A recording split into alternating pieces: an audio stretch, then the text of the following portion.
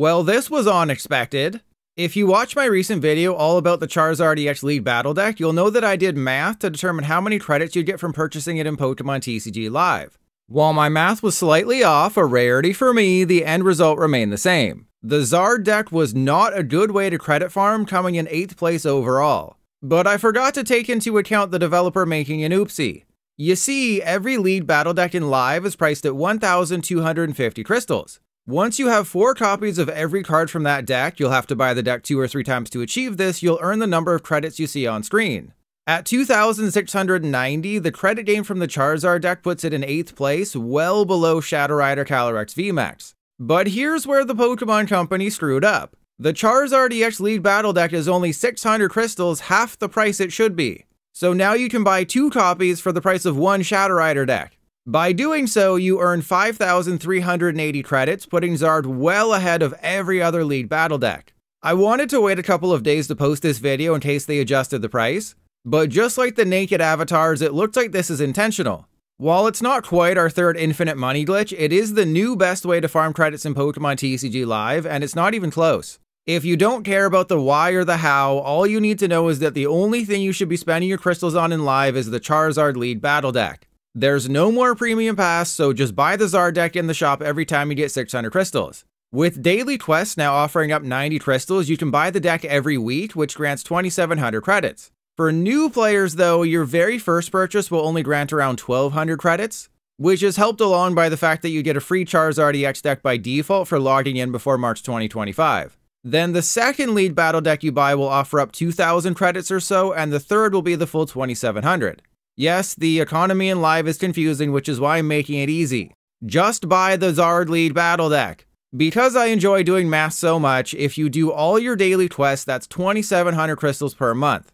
You can buy 4.5 Charizard EX League battle decks as a result, meaning you can earn just over 12,000 credits every month with this method.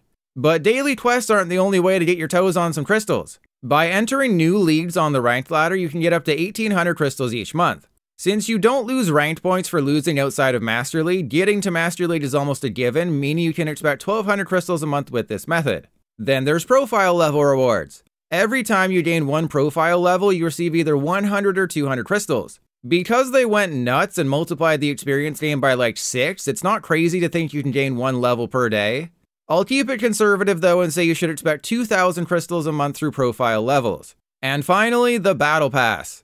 While the Battle Pass changes every 2 to 3 months, let's say you get a 1,000 per month from there.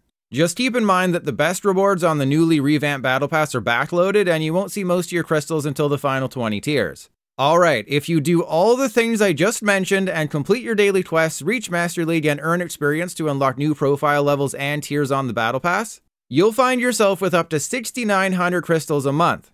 You can then turn those crystals into 11.5 Charizard EX League battle decks, which nets you 31,000 credits. Still following along? Well, good, because I checked out about two minutes ago.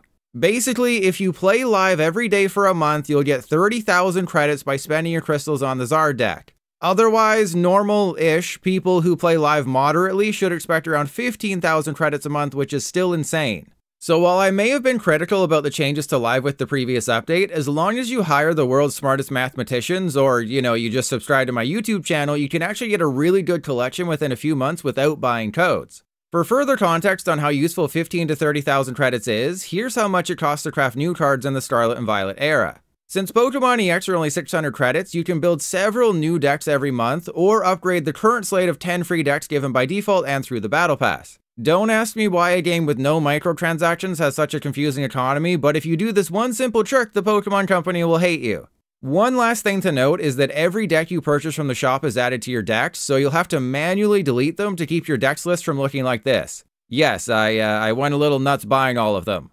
Now, I know what you're thinking. It's pretty weird that Charizard is weak to grass.